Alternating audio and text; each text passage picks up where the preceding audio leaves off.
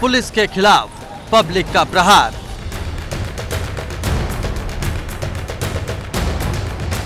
भाजपा नेता की हत्या पर आक्रोश।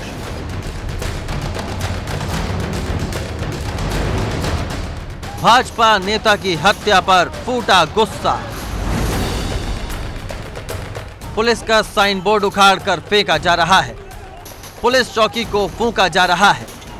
बसों में तोड़फोड़ की जा रही है। बवाल की ये तस्वीरें हैं बस्ती की, जहाँ भाजपा नेता की सरेआम हुई हत्या के बाद आक्रोश है।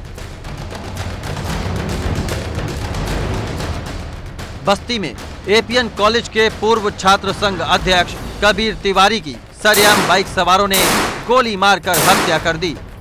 कबीर का संबंध भाजपा से भी था, जिसके चलते उसकी मौत से आक्रोशित भाजपा नेताओं ने सड़क पर जमकर बवाल किया।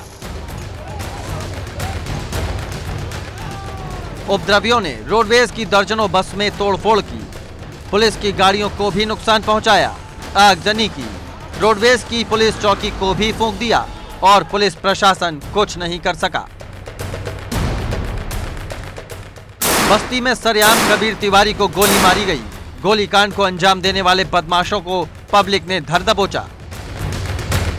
गुनहगार ने अपने गुनाह को छिपाने की कोशिश की।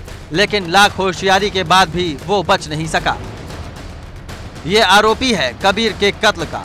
ये शख्स आरोपी है बस्ती में हुए बवाल का। यही वो शख्स है जिसने बस्ती के अमन और चैन में आग लगाई है और अब ये पुलिस के हत्थे चढ़ चुका है।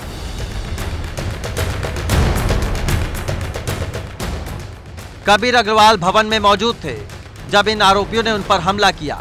कोई कुछ भी समझ पाता, उससे पहले ही बदमाशों ने कबीर के सीने में गोलियाँ दाग दी।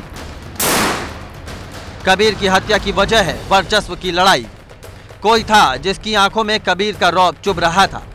वर्चस्व की इस लड़ाई में कबीर का सीना गोलियों से भर दिया गया। सतीश श्रीवास्तव, बस्ती एबीपी गंगा।